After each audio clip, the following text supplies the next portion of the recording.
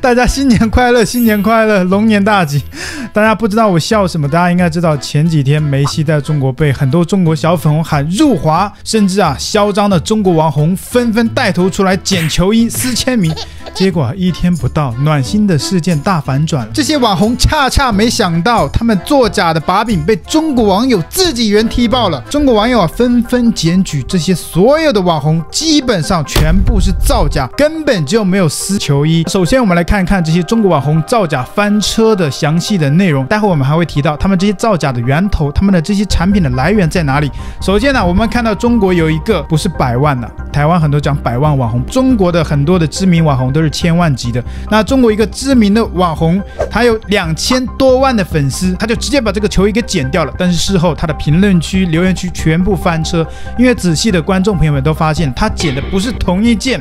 我们看到在原版这个梅西签名的这个球衣数字的旁边，蓝色的线条是比较窄的，可是在他剪掉的这只球衣，在那个数字旁边露出来的蓝色的部分的线条是比较粗大的。在这个风波持续了一天之后呢，他也没有回应，他只是把他的这个拍摄剪梅西球衣的这一段影片这个作品直接删除，也真的是太暖心了。他也被他的粉丝狂骂，说这个蹭流量的行为，为了钱呢，为了流量不择手段。那接下来要介绍的第二网红，想必大家已经看过他剪梅西球衣的这一段影片。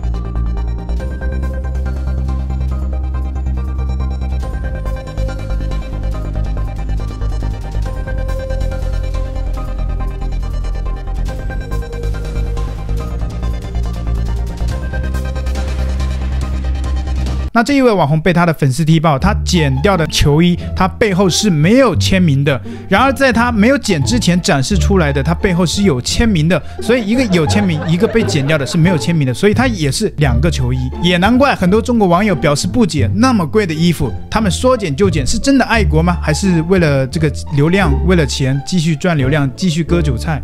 所以说，为什么一开始很多人不理解，原来这些都是假的？暴殄天物，当初都是几万块钱、十几万块钱收出来的，对吧？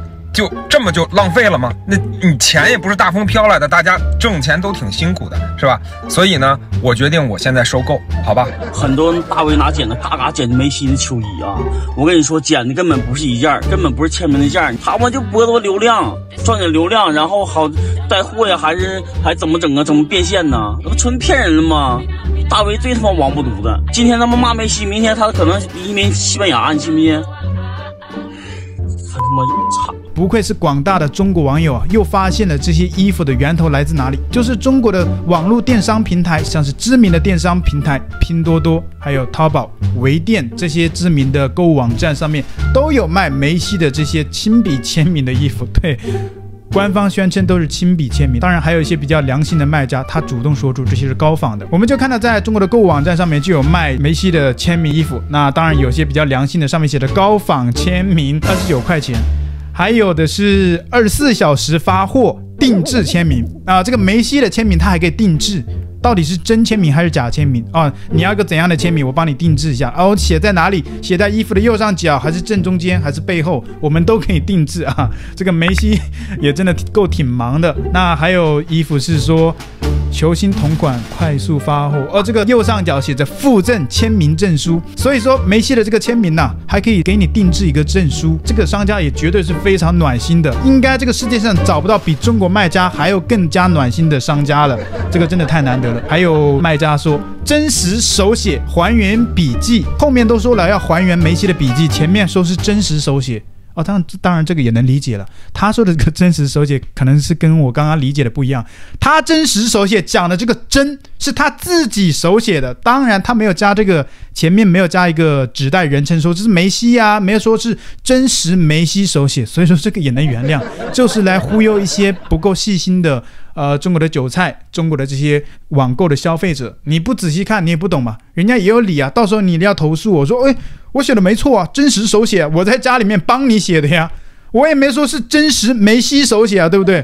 所以说啊，他这个标题写的真够耸动的，真实手写还原笔记啊啊！他当然他的右下角还写了一些小字，说还原度全网最高，右边还配备了一个仿真的这个签名的证书，哈哈哈哈哈，也太暖心了。那另外还有卖家写。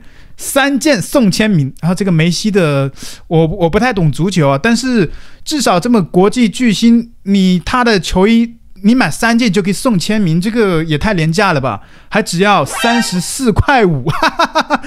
哎呀，这个梅西看到真的是要吐血啊！那还有中国的商家写，你看这些衣服才一百块。那后面写着团队定制，其实在中国啊，这些衣服都可以定制的，这个也不是什么新鲜事。我们自己大陆的同胞都知道，这衣服的成本也就几十块钱，你在上面定制什么图案，非常的简而易举。那你在上面用自己手写一个，模仿一个梅西的签名啊，别人也不知道是谁写的，对不对？你跟梅西写的一模一样，而且是真实手写的，那个都是真实的用墨水写上去的，你能说这是假的吗？打印上去的吗？也不会啊。所以有些商家还打出那个官方的口号，说我们是真实手写。的，因为有些商家可能这个考量到成本，他们是直接打印上去了，把梅西的这个签名呢，直接用电脑列印在上面，所以定制出来的时候都不需要手写，他已经暖心的把你定制打印在上面了。但是有些比较良心的卖家，他就是比较暖心的，他说真实手写，也就是在家里面我帮你手写，哈哈哈，哎，太暖心了。那还有中国的商家啊说。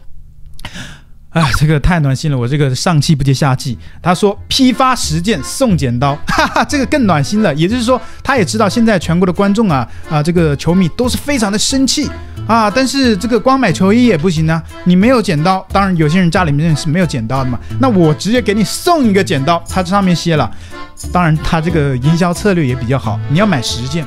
所以说，批发十件送剪刀，不要剪，直接送的。你说暖不暖心呢？这个都帮你想好了。后面还有一个括号，里面说包签名，这样才比较真实嘛，对吧？你说你剪掉了一个二十多块、几十块的这个球衣，你还能翻本？为什么？你把这个影片。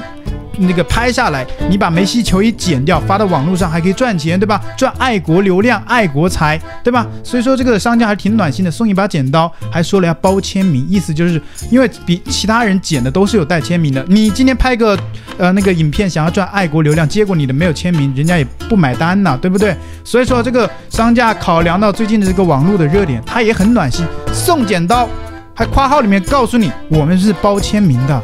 保证里面是有签名的，所以你拍起来的时候也比较真实嘛。然后啊，它这个商品图里面还说了低价放心剪，所以说你剪一件也没关系，剪两件也没关系，你想剪几件就剪几件，你剪的越多，只能代表你越爱国，对不对？所以这些商家非常的暖心，你看价格也不贵，对吧？才一百块，一百块啊！梅西的这个签名，梅西千万不要看我的影片。这个梅西如果看到真的要吐血，他的这个亲笔签名在中国卖的这么便宜，那梅西的这个事件我们就看出了中国的一些网红啊，他们造假剪这个球衣，他们是干嘛？就是骗这些小粉红，骗中国的网友。骗他们的流量，典型的赚爱国钱，赚爱国流量。那这些商家也是做的如同一辙，消费这些中国球迷的情绪啊。这些商家深知现在球迷的情绪是非常生气的，所以就借着他们的情绪卖这些造假的产品。所以我们也可以看到这件事情的舆论的发展，基本上就是中国的一些网红跟商家，他们双方都想要看到的，因为他们是最大的获利方，哈哈哈把他们的粉丝啊，荧幕前的观众啊骗得团团转。那另外，除了中国网红的这些乱象，还有中国商。商家的这些乱象，其实这些观众啊，中国的网友也没有闲着，中国网友啊也是参与其中的。他们做了什么事呢？中国网友啊，在网络上纷纷的像文革似的到处去检举一些中国的商家，说他入华，说那些商家支持梅西。很显然呢，有些商家并没有这个意思，只是说他们曾经跟梅西合作过相关的贴文，并没有删除。然后呢，包括像是中国的一家快递公司叫极兔快递啊，纷纷被中国人自己人抵制。所以说啊，梅西没有抵制成功，梅西也没有伤到他三寸还是七寸，中国人自己。伤到了七寸三寸，中国人开始自己像文革似的在网络上互相检举、互相揭发。原来小丑竟是我自己，一直以为极兔是靠拼多多新起的小快递，结果今天收到他家的快递车，你猜他的代言人是谁？梅西。极兔快递啊，我想问问你，你家是不是要黄了？这是干啥呀？我想问问呢。啊，咋的呀？这是啊？这怎么就快递现在就是已经这么牛逼了吗？梅西。在香港之行和日本之行，极兔这一次算是摊上色了。这件事也有知情人的透露，他并不是网络上想的那么简单，他其实就是梅西的团队跟呃中国的主办方他们之间在合约上面存在着法律的问题，合约没有谈拢，所以说梅西。他很显然他可能是随便找个理由，他也当当然我们是开玩笑说他入华，其实他作为一个国际巨星，他不会做入华这种事的，可能就是说他们合约没有谈拢，对于中国的这个主办方做法这种消极的抵抗，其中一个是合同的问题，因为主办方一直没敢公布合同，所以可能是合同签的，他比如说他可能分两档，他签的第一档，然后收最高价，影响不到主办方，他们都很开心的，他们都暗地里都在笑呢，钱到手了呀，这些人能做什么呢？这些人什么都做不了了，钱都已经到手了，这个主办方非常的腐败。最好的位置，至少你在大陆是绝对买不到的，你放心吧。嗯，而且我跟你说，非常好的位置有一些都是空着的，这是我亲眼所见。怎么控制的呢？票被送出去，接收的人根本不在乎这些。回到合同的问题，合同的问题就是，啊，刚才其实也说过了，这个就很简单，迈阿密有不同的合同，哦，当然对应着不同的价格，嗯，主办方呢选择了这个很便宜的一个合同，嗯，但是对球迷却收着最高最高的价格，导致了问题的出现。当然说辱华的其实也就是开玩笑，但是真正喊入华的是中国人民。中国这些网友一开始就喊梅西啊，你只要不按中国的这些做法做啊，你就是入华。客观来讲，梅西作为国际巨星，他也没必要入华，对不对？梅西这次也在私下会见了很多的一些球迷啊，商业的活动啊，甚至还参加了公益活动。你能说这是入华吗？很显然，这是小粉在那边喊的。那我们再来看一下中国网友对此有什么样的看法。那有中国网友就留言说，梅西就是典型的日本人。这样羞辱中国，简直比日本人还过分。亏我还看过他的球赛，以后该抵制了。中国人该醒醒了。足球这种东西还是别看了。干，足球不是我们发明的吗？这个时候怎么喊抵制足球了？这些小粉啊，这个爱国情怀一上来，这个脑子都不好使了，开始像智障一样。他接着说，现在终于理解为啥中国足球踢得这么烂，毕竟这是境外体育。哎，这明明是中国发明的足球啊！你们能不能把历史学好一点？天天说爱国，自己中国的历史都没有学好。还有网友连说啊，会不会是因为上次梅西来中国，因为护照的事情被刁难，所以记恨在心，这次故意恶心咱们？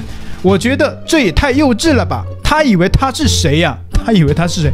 他是梅西呀！啊，你倒是谁呀？你是小粉红，你以为你是谁啊？还有网友留言说，梅西做成这样太难看了，去日本就跳得快要起飞了，啊，在中国就东亚病夫跑不动了，明摆着故意入华，抵制吧，家人们！球衣我也准备剪掉了，虽然可能是淘宝假货，你看这个网友也知道是假货，但也必须剪掉。我先剪了，家人们哭哭。今天也是新年嘛，所以说看到这些东西真的啊，整个心情都变好了。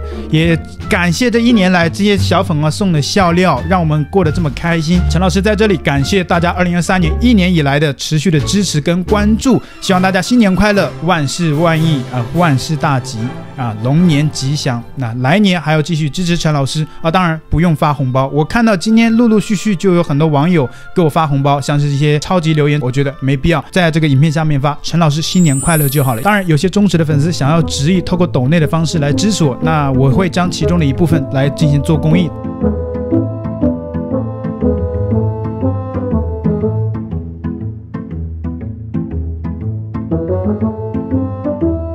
希望二零二四年台湾越来越好，二零二四年台湾人越来越好。那荧幕前的我的观众朋友们，大家过得越来越开心。